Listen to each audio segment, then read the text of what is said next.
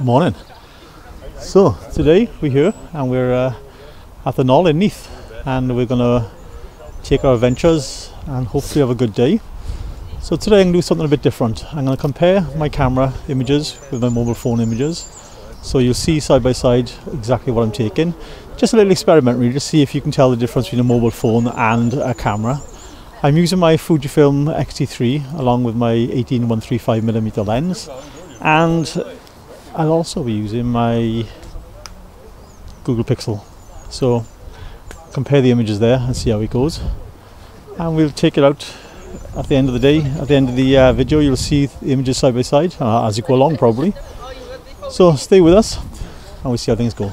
Enjoy!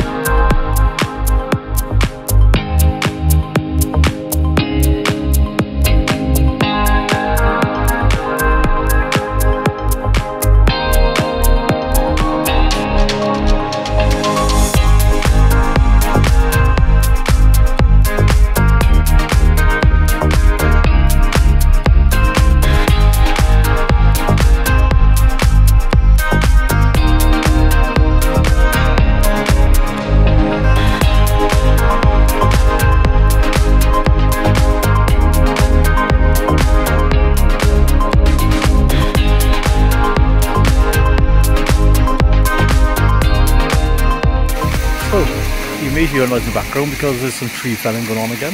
But uh,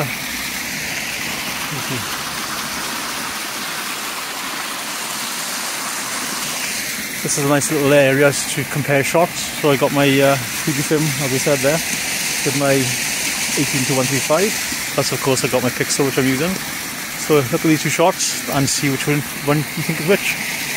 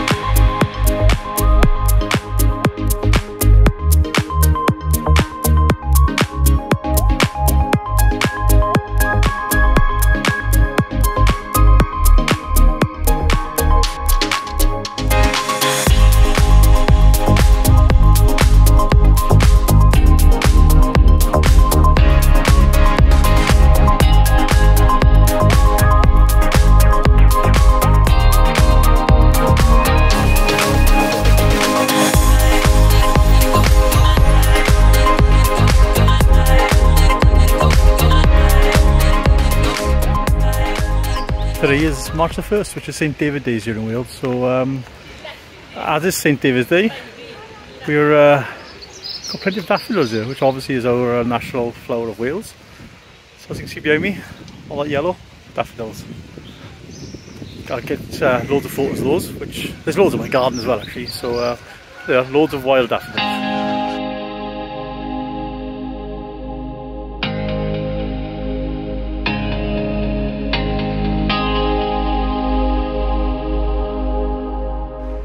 So I'm looking at where I'm going because the floor is rather muddy at the moment. But uh, it's a good day. I've been to the Gnoll thousands of times over the years. I lived not far from where we are now. I grew up in this area, so this is my playground. So um, just wandering around looking for some various things. I just seen a couple of more hens and various things here, so I'll get some photos of those if I can. But uh, today we've just seen the difference between um, a, a, mirrorless camera and obviously um, a phone camera. So hopefully the examples I'm putting up will just make you think about how useful your phone is to use when you're out. Because I know a lot of people don't think of their phone as a proper camera, but of course it's a proper camera. You know, it's uh, you can take exceptional shots. So hopefully you can use your, your phone a bit more when you're out and about, even if it's just for using for compositional use. You know, so you can you can just use it in the future and look at photos you've taken and go back with your camera, or even use the photos from your phone and print them. There's no excuse these days. Phones are awesome for uh, taking photographs. So there'll be more now, and you can see exactly how good phones are these days.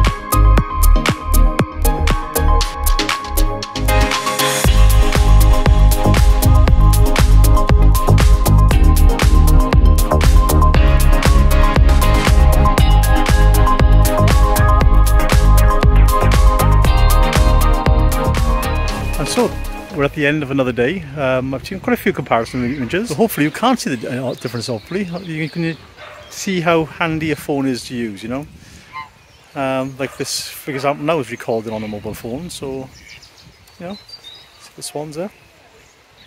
Wildlife is amazing in this park. Uh, we've got some good day again, as always. In fact, we've got a brilliant day. So we're heading back to the coffee shop now.